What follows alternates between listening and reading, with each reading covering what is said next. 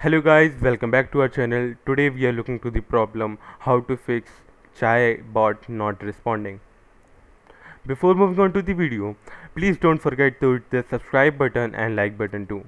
So why is chai bot is not responding? This issue arises when the user attempt to communicate with the bot or preset ones but regardless of what they say the bot do not respond to the messages this problem can persist for several days, causing frustration among users.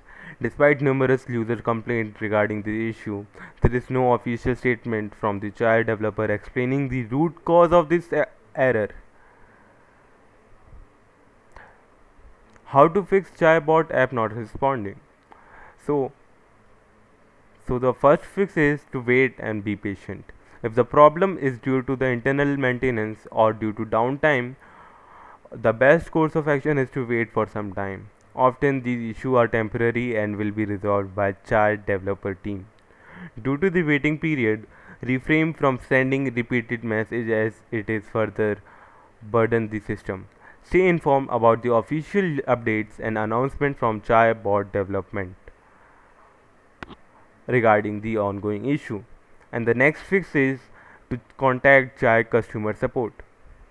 If you need an immediate assistance, it will be advised to reach out to the Chai customer support team. They can provide you with the systematic information about the unresponsiveness issue or offer personalized assistance to resolve the issue.